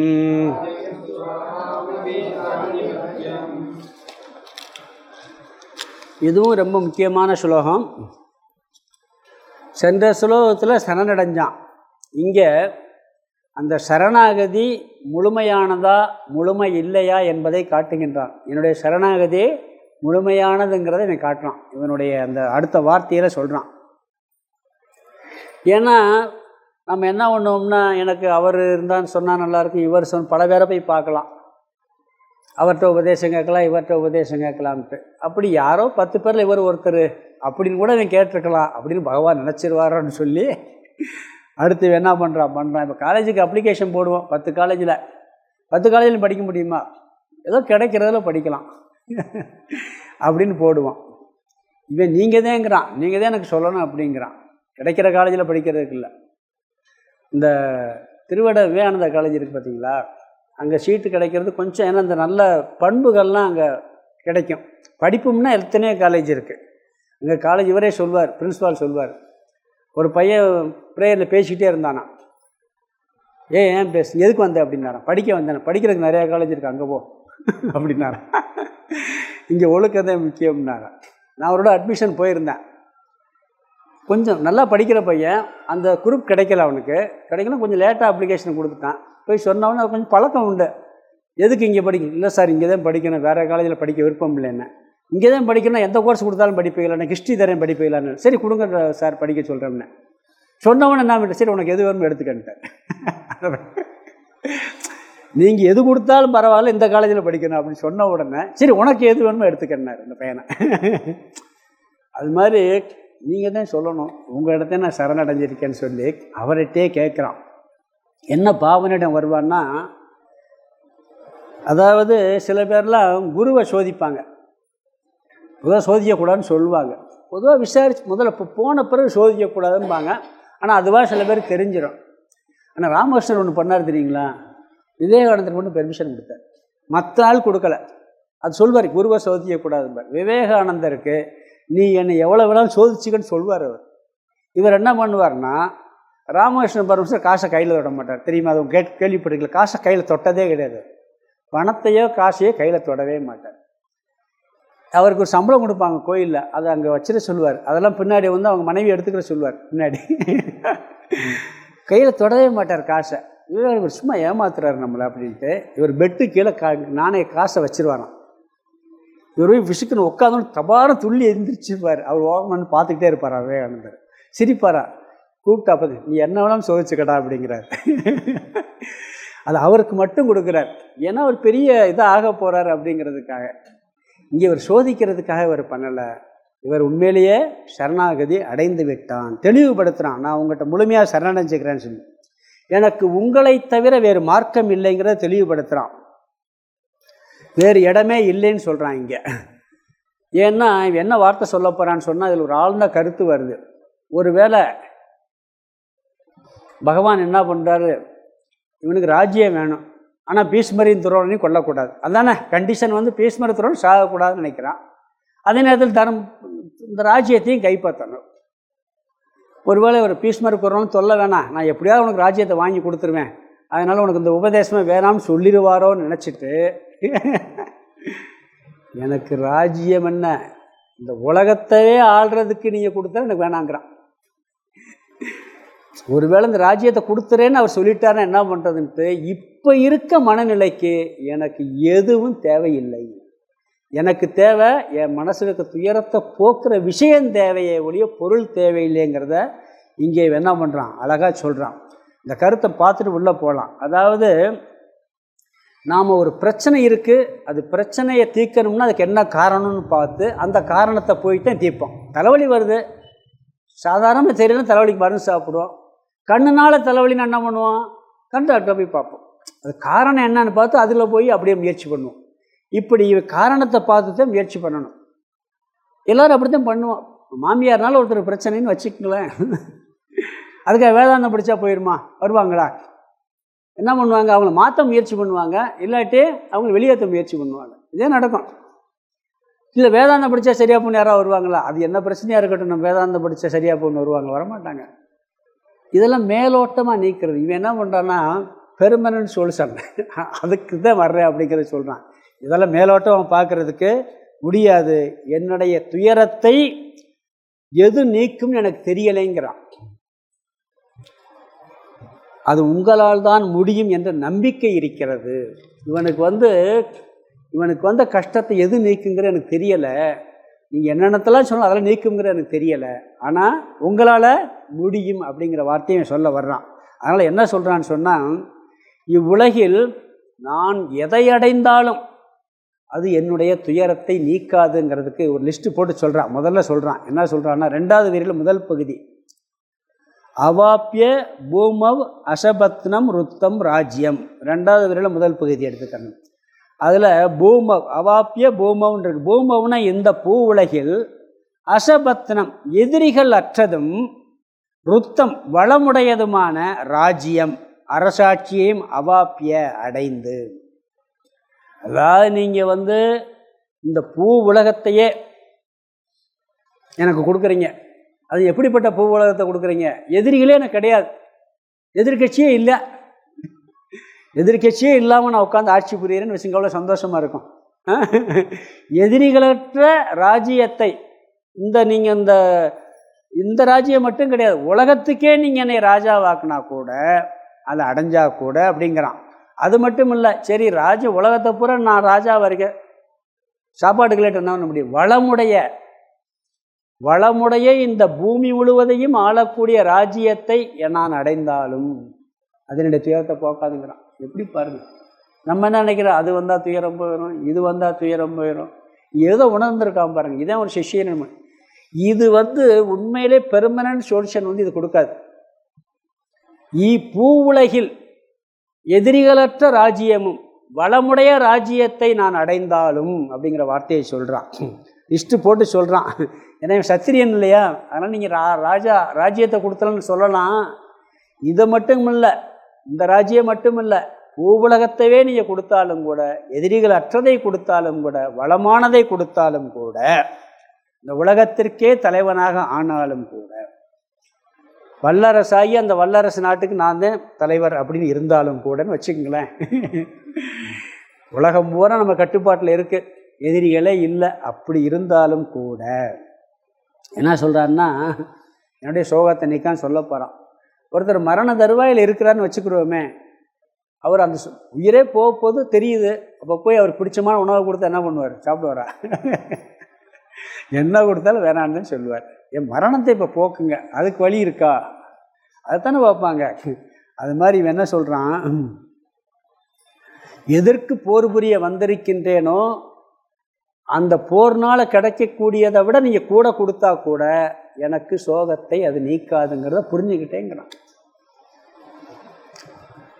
அந்த எது சோகத்தை நீக்காதுங்கிற அறிவை அவன் அடைஞ்சிட்டான். அதனால் என்ன சொல்கிறான் அடுத்து கேட்குறான். இந்த உலகத்தில் எதுவுமே நீ திருப்தி படை பட திருப்திப்படுத்தாதுங்கிற அறிவை இவன் அடைஞ்சிருக்கான். அதை எப்படி அடைகிறதுனா பொதுவாக பார்க்கலாம். இந்த உலகத்தில் எதுவுமே நம்மளை முழுமையாக திருப்திப்படுத்த முடியாது. இதை அவன் புரிஞ்சுக்கிட்டான். இது எப்படி இந்த அறிவு உனக்கு கிடச்சிச்சு? இது நல்லா கொஞ்சம் யோசித்து பார்த்தீங்கன்னா இந்த அறிவு எல்லாருக்குமே கிடைக்கும். எப்படி அனுபவத்திலே பார்க்கலாம். ஒருத்தருக்கு ரொம்ப பெரிய டாட்டா பிர்லா வச்சுக்கிருவோமே. இன்றைக்கி அம்பானியா வச்சுக்கிருவோம். பணம் எல்லாம் இருக்குது நல்ல ஆரோக்கியம் இருக்குது இல்லை உலகத்துக்கே பெரிய வல்லரசு நாட்டினுடைய அதிபதியாக இருக்கார். வச்சுக்கணும் இருக்கார். நல்ல முழு ஆரோக்கியம் இருக்குது நல்ல உறவுகள் இருக்குது எல்லாம் இருக்கிற ஒரு ஆளை போய் நீங்கள் ஹண்ட்ரட் பர்சன்ட் திருப்தியாக இருக்காதுன்னு கேட்டு பாருங்கள் சொல்லிடுவாரா? சொல்ல முடியுமா? நம்மளால் சொல்ல முடியுமா? முடியாதுல்ல. என்ன அப்போ எந்த இதெல்லாம் இருந்து ஏன் வரல திருப்தி? அங்கே ஏதோ சம்திங் அதை புரிஞ்சுக்கிட்டான். இதெல்லாம் மேலோட்டமான திருப்தியை கொடுங்க. அதுக்காக தேவையில்லைன்னு சொல்கிறதில்ல இதெல்லாம் தேவை. உலக வாழ்க்கைக்கு வாழ்வதற்கு கட்டாயம் தேவை. பணமோ பதவியோ செல்வமோ உறவுகளோ உடல் ஆரோக்கியமோ எல்லாமே தேவைதான். ஆனால் பெர்மனண்ட் நான் ஹண்ட்ரட் பர்சன்ட் பூரணமாக இருக்கின்றேன் நிறைவாக இருக்கின்றேன். குறையொன்றும் இல்லை. மறைமூர்த்தி கண்ணான்னு சொல்ல முடியுமா? பாட்டிருக்கு. அதில் எவ்வளோ பெரிய வரி பார்த்தீங்களா? இப்படி கடவுள்கிட்ட போய் சொல்ல முடியுமா? குறையொன்றும் இல்லை மறைமூர்த்தி கண்ணான்னு. எனக்கு ஒரு குறையும் இல்லை. ஒன்றுமே வேணான்னு கே கேட்போமா நல்ல ஞானத்தில் நிஷ்டையாக இருந்தால் கேட்க முடியும். ஒன்றும் வேணாம். ஏற்கனவே சொல்லியிருக்கேன் ஒருத்தர் வந்து சுடுகாட்டில் போய் இது டெய்லி ஏதோ பண்ணுவாராம். பண்ணிவிட்டு ஒரு நெருப்பு எல்லாம் போட்டு சுள்ளியெல்லாம் போட்டு தியானம் பண்ணிக்கிட்டு இருப்பாராம். இப்படியே டெய்லி பண்ணிக்கிட்டு இருக்க ஒரு ஞானி. நைட்டில் கொஞ்சம் போட்டு பண்ணி ஒரு நாள் வந்து இந்த விறகு சுள்ளியெல்லாம் கிடைக்கல. ஒரு பணம் வந்துக்கிட்டு இருந்திருக்கு. அங்கே போய் தியானம் பண்ணலான்னு போய் தியானம் பண்ணாராம். தியானம் பண்ணிக்கிட்டு இருக்கும்போது காளி வந்துருச்சாங்க என்ன இங்கே தியானம் பண்ணிக்கிட்டு இருக்கேன்னு கேட்டுச்சு. ஏன் நீ யார்? அப்படின்னு கேட்டாரா. நான் தான் காளி. சுடுகாட்டில் நடனம் ஆடுவேன் அப்படின்னாங்க நீ வேறு இடத்துல போய் தியானம் பண்ணிச்சான் இந்த உலகமே ஒன்றுதுங்கிற வேறு நீ போய் எங்கேயா போய் தியானம் பண்ணு ஆடு அப்படின்னாரு அவர். அது அது அவருக்கு அந்த இதே தே அது தேவையே இல்லை அப்படி இருக்கார்.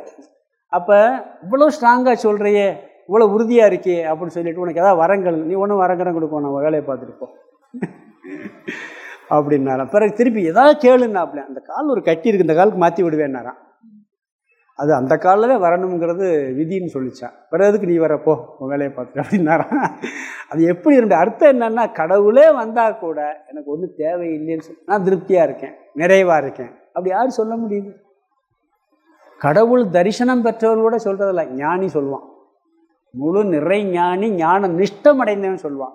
ஞானம் இருந்தால் மட்டும் சொல்ல முடியாது. ஞானில் உறுதி ஆகிட்டோம்னு வச்சுங்களேன் சொல்ல முடியும். எனக்கு முழு உடலில் நோய் வரலாம் கஷ்டம் வரும். ஆனால் என் மனதளவில் முழுசாக திருப்தியாக இருக்குன்னு சொல்ல முடியும். அதை என்ன பண்ணிட்டான்? என்ன கொடுத்தாலும் அது உண அது வந்து வராதுங்கிறத புரிஞ்சுக்கிட்டான். அது அவனுக்கு பொதுவாக உலக அனுபவத்தில் இது நம்மளுக்கு இப்போ சொன்னால் தெரியுதா இல்லையா? வருமா இல்லையா? இருக்கா இல்லையா? அப்படி இவன் என்ன பண்ணிட்டான்? இந்த இது வந்து என்ன கொடுத்தாலும் நிறைவை தராது என்ற ஞானம் வந்துவிட்டது. அந்த ஞானத்தோடு இவன் சரணடைகின்றான். அதனால் என்ன சொல்கிறான்னு சொன்னால் அடுத்த வார்த்தை சொல்கிறான் சரி இந்த உலகந்தே நீ வேணான்ட்ட. உனக்கு சொர்க்கத்தை கொடுத்துருவோம்ப்பா. நீ அங்கே போய் கொஞ்சம் நல்லா இரு.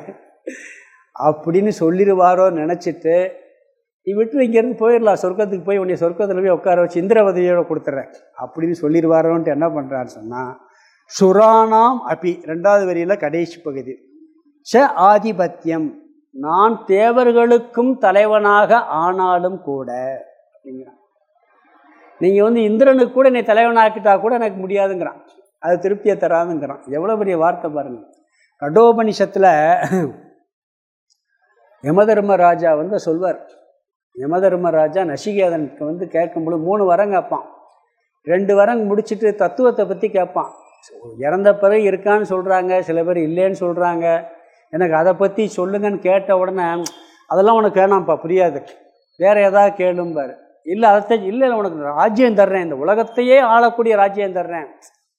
எனக்கு அது தேவையில்லை. நான் கேட்குற கேள்வி பதிலை சொல்லுங்கள் அதில் அதனுடைய அர்த்தம் எப்படின்னா தாத்பரியம் எப்படின்னா நீங்கள் இந்த ராஜ்யத்தை மரணத்தை பற்றி கேட்குறான்.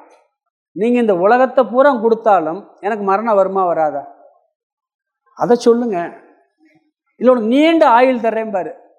நீண்ட ஆயுள் என்ன? நீங்கள் போன பிறகு நானும் போயிடணும்ல நீங்கள் உங்களுக்கே ஆயுள் உண்டு. யமதர்மராஜாவுக்கு ஆயுள் உண்டு. பத்து கோடி வருஷம் கொடுக்குறாருன்னு வச்சுக்கோங்க. இல்லை இந்த உலகம் இரநூறு கோடி வருஷம் ஆச்சுங்கிறாங்க என்ன இரநூறு கோடி வருஷம் இருக்குங்கிறாங்க. இந்த உலகம் இருக்க வரைக்கும் அதுக்கு பிறகு உலகம் அழியும் போது அழிஞ்சு போகணும் இல்லையா? அழிஞ்ச பிறகு என்ன ஆவேன் அதை சொல்லுங்கள் இப்படி தான் கேட்பான். இந்த இந்த அடிப்படையில் கேட்பான். அது மாதிரி இவன் என்ன சொல்கிறான்னா என்ன கொடுத்தாலும் அங்கே ஒரு நிறைவுங்கிறது கிடையாது. அங்கே ஒரு தொக்கி நிற்கும். இன்னொன்று சொல்கிறப்ப யோசிச்சு பாருங்கள் நம்ம இப்போ நான் என்ன சொல்கிறோம் மோட்சத்தை அடையணும்னு சொல்கிறோம் மோட்சம் அடையணும்னா என்ன? சிவலோக பதவி அடைந்தார். அங்கேயும் பதவி தான். அவர் சிவலோக பதவி அடைந்தார். போடுறதே பத்திரிக்கை அடித்து போகிறதே சிவலோக பதவின்னு போகிறோம் சரி சிவன்கிட்ட போயிட்டீங்க. ஒரு கேள்வி கேட்போம். சும்மா கேட்டு பார்க்கலாம் எத்தனை வருஷம் அங்கே இருப்பீங்க? இல்லை பார்க்கடலில் பள்ளி கொண்டு இருக்க பெருமாள்கிட்ட போயிட்டீங்க. எத்தனை வருஷம் இருப்பீங்க? இருந்துக்கிட்டே இருப்பேன். போர் அடிச்சிடாதா அங்கே இருந்துக்கிட்டே இருந்தா எங்கே இருந்தாலும் போர் அடிச்சிடாதா எத்தனை காலம் இருக்கிறது? ஒரு கோழி வரும். அது உண்மைதான். அங்கே போகிறதும் ஒரு மோட்சம்னு சொல்கிறோம் நம்ம. அங்கே போய் பகவான் இந்த ஞானத்தை உபதேசிப்பாராம். இங்கே ஞானம் கிடைக்கலன்னா. அது ஒரு ஸ்டேஜ்னு சொல்லுவாங்க. கிரம முக்தின்னு சொல்லுவாங்க. எட்டாவது அத்தியாயத்தில் பார்க்க போகிறோம் பகவத்கீதை அதுவும் வருது. எட்டாவது அத்தியாயத்தில் கிரம முக்தின்னு ஒன்று வரும். அங்கே போய் இந்த உபதேசத்தை பண்ணுவாராம் பிரம்மா. அதுக்கு இங்கேயே பண்ணிட்டு போவேன் அப்படிங்கிறாரு. இங்கேயே க அடைஞ்சிட்டு போவேங்கிறாரு. ஏன்னா இதனால தான் திருப்தி அடைய முடியும். அது திருப்தியை தராது. சொர்க்கத்தை கொடுத்தாலும் வராது. இவன் சொர்க்கத்தை போயிட்டு வந்திருக்கான். தெரியுமில்ல இவன் வந்து இந்த உடலோட போயிட்டு வந்தவன். அது அது படித்தா தெரியும். இங்கே என்னென்னா இகலோக சுகமோ பரலோக சுகமோ எனக்கு தேவையில்லை. அனுபவித்ததிலும் அனுபவிக்க போவதிலும் யாருக்கு வைராக்கியம் வருகிறதோ அவனே இந்த ஞானத்திற்கு தகுதி உடையவன் சொல்லுவாங்க இவனுக்கு இரண்டும் எனக்கு இருக்குன்னு சொல்கிறான் நீ இப்போ அனுபவிச்சுக்கிட்டு இருக்க உலகத்தை கொடுத்தால் வேணாம். இல்லை நீ சொர்க்கத்துக்கு போய் அனுபவிக்க போகிறேன்னு அந்த சுகமும் எனக்கு வேணாம். எனக்கு இது ரெண்டும் முழு நிறைவை தராது. ஆகவே முழு நிறைவை தரக்கூடிய எனக்கு உபதேசத்தை செய்யுங்கள் அப்படிங்கிறான். இங்கே முக்கியமான கருத்து இவனுக்கு வைராக்கியம் வருகிறது. இகலோகத்திலும் வைராக்கியம் வருகிறது. பரலோகத்திலும் வைராக்கியம் வருகிறது. அனுபவித்ததிலும் வைராக்கியம் வருகிறது அனுபவிக்க போவதிலும் வைராக்கியம் வருகிறது. நாம் நாலு தகுதி பார்த்தோம் சிஷியனாங்கிறதுக்கு அங்கே. அது இந்த ஒரு ஒரு விதத்தில் பார்த்தோம். வேதாந்தப்படி பார்த்தா விவேகம் வைராக்கியம் சமதமாதி முதலான ஆறு குணங்கள் முமுட்சுத்துவம் சொல்லி நாலு சொல்லுவாங்க. சாதன சதுஷ்டய சம்பன்னகங்கிறத. இதில் இவனுக்கு விவேகமும் வைராக்கியம் வந்திருக்கு. அதுக்கு பிறகு இவர் உபதேசத்தை ஆரம்பிக்க போகிறார் இந்த விவேகம் வைராக்கியம் சமதமாதி முமுட்சுத்துவத்தை பற்றி ஷார்ட்டாக பார்த்துட்டு பிறகு ஸ்லோகத்துக்குள்ள போய் அர்த்தம் பார்க்கலாம். நம்ம அதை அடுத்த வகுப்பில் பார்க்கலாம் ஓம் பூர்ணமத பூர்ணமிதம் பூர்ணாத் பூர்ணமுதட்சியதே பூர்ண பூர்ணமாதாய பூர்ணமேவாவசிஷ்யதே. ஓம் சாந்தி சாந்தி சாந்தி ஹரிஹி ஓம் ஆதிகுருநாத சுவாமிக்கு. ஜெய் ஹரிஹி ஓம்.